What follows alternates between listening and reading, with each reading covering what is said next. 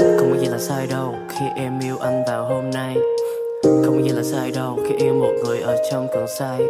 Hãy thử bên anh một lần, để em biết được anh là ai. Nếu yêu anh là một sai lầm thì ok, không có gì là sai. Ok, không có gì là sai. Khi xung quanh em không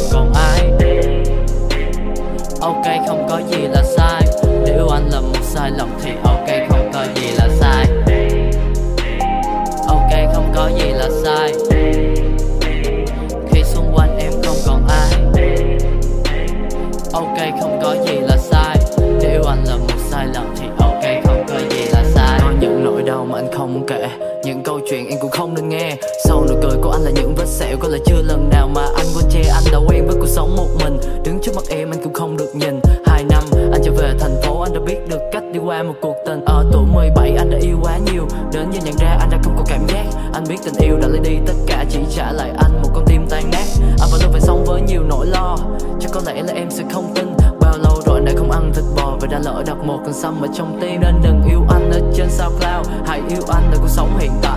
những món đồ mà anh chung trên tao bao, Nó không thể nào khiến cho em phải điên dại. Nhưng anh là vui trong thế giới của anh. Đã quen sống với nhiều bình tin vây quanh. Nếu em nghĩ tình yêu mình đủ lớn, Nhưng nó chỉ nằm gọn ở trong bàn tay anh.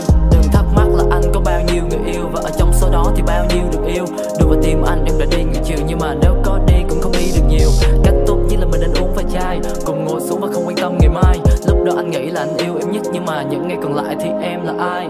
Không có gì là sai đâu. Khi em yêu anh vào hôm nay không có gì là sai đâu Khi yêu một người ở trong cơn say Hãy thử bên anh một lần Để em biết được anh là ai. Để yêu anh là một sai lầm thì Ok không có gì là sai. Không có gì là sai đâu Khi mà anh là người xấu Anh là người mà khiến cho ba cô gái đã phải đâu. Cứ gọi cho anh và nói là ok Hôm nay em không biết đi đâu. Anh sẽ làm cho em quên hết Sẽ là người bên cạnh xoa dịu cho em những cơn đau. Nhưng mà qua cuộc vui hy vọng mình sẽ không gặp nhau vào hôm sau. Như story anh có thể yêu em 24 giờ Nhưng ngày mai anh không chắc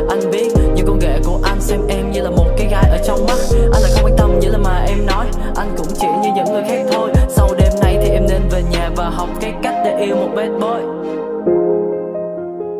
Tell me the reason that makes you hurt. Who do you want not to talk it first?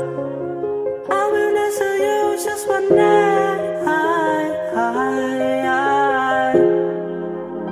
Tell me the reason that makes you hurt.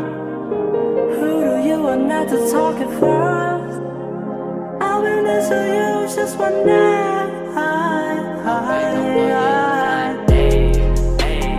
Ok không có gì là